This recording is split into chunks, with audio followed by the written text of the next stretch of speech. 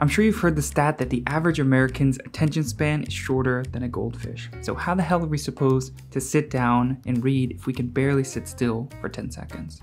In this quick video, I'm gonna walk through the method that I use to go from a crazed lunatic who can barely sit through a paragraph to reading an entire book in one sitting.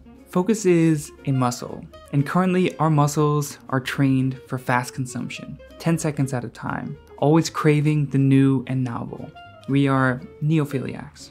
This can really make reading feel like a lost cause. So how can we build up our focus to withstand long, uninterrupted sessions of reading? No matter how bad you think you are, you'd be shocked at the transformation that you could make. Some of the best readers of all time had ADHD.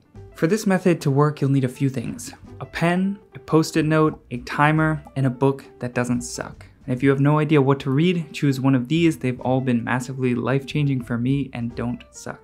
When it comes to the timer, I highly recommend using an external timer that's outside of your phone. So whenever we use our phone for things, we'll get sucked in, read our messages, check our emails, and we just want a simple device that just times. That's it. The one that I found to work best is this. It costs you about $10. I think I found it from Alex Hormozi. It's fantastic. Highly recommend it. Before we even start, the absolute foundation is removing distractions. So turn off your phone, put it in the fridge, microwave, or in the closet behind the door, the key being that you can't see it or reach it easily. Same goes for any other devices that might distract you. Next, take your timer and set that thing for one minute. Remember, our muscles haven't been worked out in a hot second, so while there will be a temptation to do an all out, soul crushing workout, this will leave us sore the next day, so we won't be able to repeat it. Take it slow and steady. This is just about building the initial consistency. We're gonna work up from what should seem like a piece of cake being one minute. And if one minute feels too daunting, try 30 seconds, 15 seconds. Whatever can get you to almost scoff at it because it's so simple. Next up, grab a post-it note and smack it on the cover of a book. The use behind this post-it note is what I call a distraction cue. While reading, a million things will pop into your head. You really should do the laundry. You have no clothes left, you'll stink.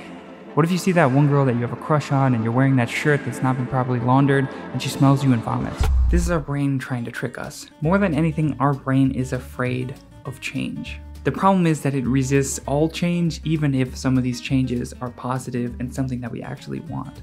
Reading is uncomfortable, and our brain wants us to be comfortable. So whatever it can do to get us out of that reading mode and doing something such as scrolling on our phone that it knows is comfortable, it will do. Don't listen to it. Instead, whenever you have one of these distracting thoughts, close the book and write it on the post-it note. Do the laundry. Send that letter you've been meaning to send. Then, after you write it, go back, open up the book, and go back to reading. See, we can't just avoid these distractions and continue on reading because we all know how that goes. Instead of avoiding them, we will capture them and tell ourselves that we'll deal with them later after we're done reading.